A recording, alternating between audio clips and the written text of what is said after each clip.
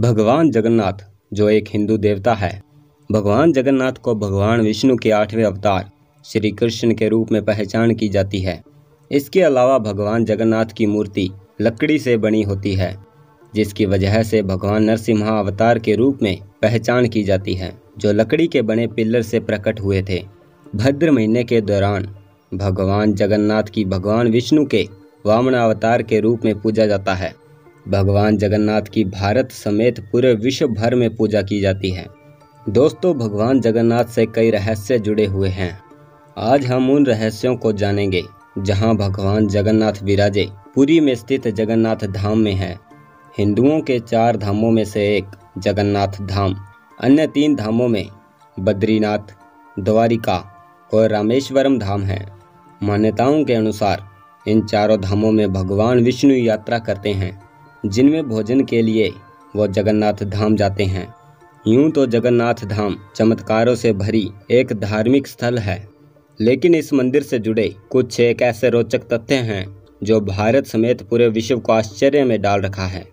आज इस वीडियो के माध्यम से उन्हीं खास रोचक तथ्यों को जानेंगे।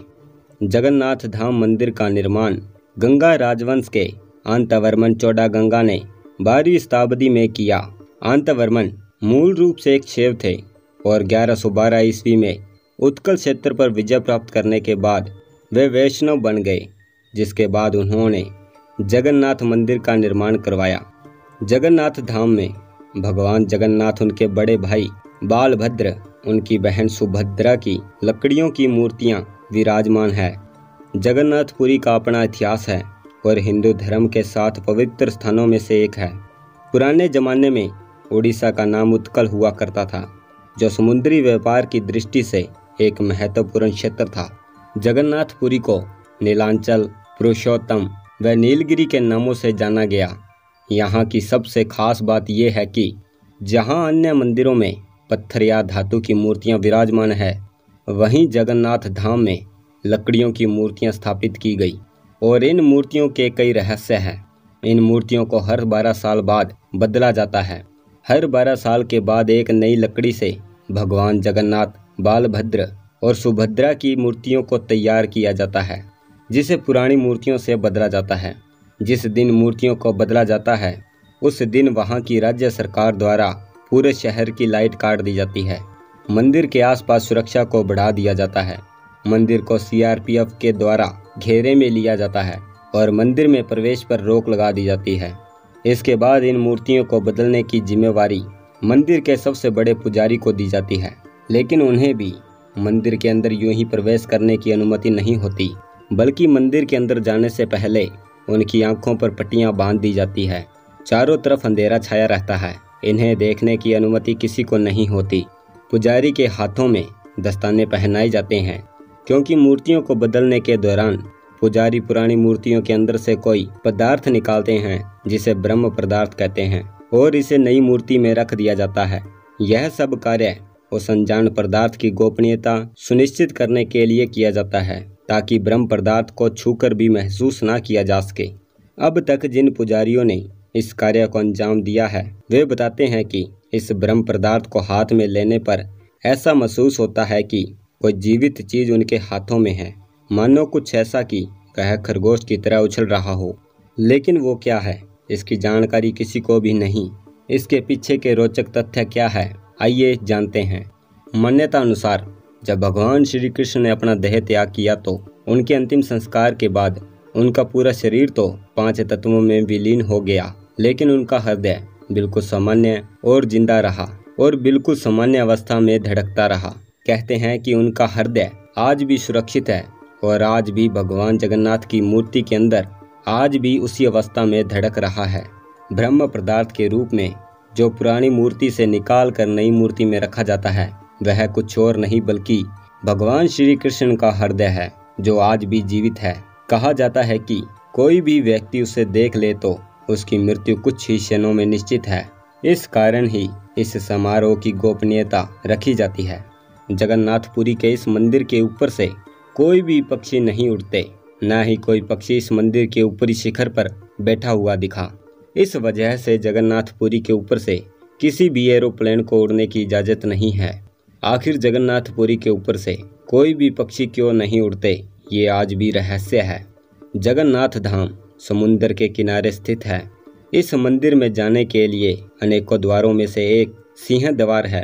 समुद्र के किनारे मौजूद होने से समुद्र की लहरों की आवाज़ें सुनाई देती है। लेकिन जैसे ही कोई व्यक्ति सिंह द्वार से मंदिर में प्रवेश करता है, लहरों की आवाज़ें आनी बंद हो जाती है। मंदिर के अंदर कोई आवाज़ नहीं आती, और जैसे ही कोई व्यक्ति इस द्वार के बाहर की ओर अपने कदम रखता है, वैसे ही उसे लहरों की आवाज़ें सुनाई देने लग जाती है। अब इसे भगवान जगन्नाथ का चमत्कार कहें, या कोई वैज्ञानिक रहस्य। जगन्नाथपुरी का ये मंदिर बहुत बड़े क्षेत्र में बना है। मंदिर की जो सबसे बड़ी शिखर है, उसकी दिन के समय में परछाई कभी नहीं बनी। इस मंदिर के ऊपर जो झंडा लगा हुआ है, उसे हर रोज शाम को बदलने की परंपरा है। कहा जाता है कि किसी शाम इस झंडे को नहीं बदला गया तो यह मंदिर अगले 18 वर्षों के लिए बंद हो जाएगा। ऐसा क्यों है? ये आज भी एक रहस्य है। जगन्नाथ मंदिर के ऊपर एक सुदर्शन चक्कर भी बना हुआ है। इस चक्कर की खासियत ये है कि इसे किसी भी दिशा से देखा जाए तो यूँ ही प्रतीत होता है कि उसका मुँह उसी तरफ़ है। जगन्नाथपुरी के रहस्यों में से एक और रहस्य है, जो कि भगवान विष्णु खुद यहाँ भोजन के लिए आते हैं, जिस कारण इस मंदिर में एक भव्य रसोई मौजूद है। यहाँ पर 500 लोगों का खाना बनता है और 300 लोग उनका हाथ बंटाते हैं। हर दिन हज़ारों लोगों को इस रसोई में बना प्रसाद बांटा जाता है। सुबह के समय श्रद्धालुओं की संख्या लाखों में पहुँच जाती है, लेकिन इस रसोई से जुड़ी सबसे रोचक बात यह है कि इस रसोई में बना भोजन कभी कम नहीं पड़ता और न ही कभी व्यर्थ जाता है। सारा दिन इस रसोई से श्रद्धालुओं को प्रसाद बांटा जाता है और जैसे ही मंदिर में प्रवेश बंद करने का समय आता है, वैसे ही यह प्रसाद खत्म हो जाता है और एक भी अन्न का दाना व्यर्थ नहीं जाता। इस रसोई से जुड़ी एक और बात यह है कि इस रसोई में प्रसाद लकड़ी के चूल्हे पर बनता है, जो सात बर्तनों में पकाया जाता है। बर्तनों को चूल्हे पर एक के ऊपर एक चढ़ाया जाता है। लेकिन रहस्यमय तरीके से इन सातों बर्तनों में, सबसे ऊपर रखे बर्तनों में प्रसाद बनकर तैयार हो जाता है और सबसे नीचे रखे बर्तन में जो अग्नि की लपटों के सबसे नज़दीक होता है, उसमें प्रसाद सबसे अंत में पकता है। आखिर कैसे? ये भी एक रहस्य है। इन सब में एक और रहस्य है। मंदिर के ऊपर लगे झंडे को विज्ञान के हिसाब से हवा के साथ लहराना चाहिए। लेकिन यहाँ इसके उलट होता है। मंदिर के शिखर पर लगा झंडा, हवा की दिशा में उड़ने की जगह, हवा के विपरीत दिशा में उड़ता है। इस झंडे का ऐसा उड़ना, ये भी एक रहस्य है। इनके पीछे का कारण, भगवान की माया कहें, या कोई वैज्ञानिक कारण, इसकी वजह तो आज तक पता नहीं लगाया गया।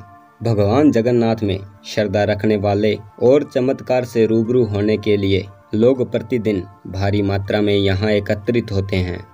आज की वीडियो को देख आपको कैसा लगा और जगन्नाथपुरी धाम के रहस्यों के बारे में आपकी क्या राय है, कमेंट में ज़रूर बताएँ। हमारी वीडियो को लाइक, शेयर, सब्सक्राइब ज़रूर करें। तो इसी के साथ हम आपसे अलविदा लेते हैं। मिलते हैं अगली वीडियो में। जय हिंद, जय भारत।